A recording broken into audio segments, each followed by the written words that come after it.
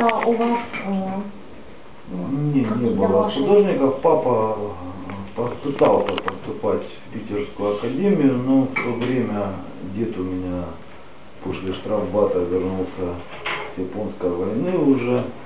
И когда папа сказал, буду в академию художником, он сказал, сынок, ну какое художество, ты что? И папа пошел в энергетике, закончил два института и, и, собственно, энергетика и мощник и до сих пор востребован, в отличие от художественной культуре. Папе звонят, говорят, надо починить турбину в Йемене, в этом, там, такая там, Да, да, да. американская, а вот он 70 лет, дай бог, он ездит и, то есть он нужный специалист, то есть в отличие от, как это, я считал как нужным специалистом, вот, ну, какое-то время не считать.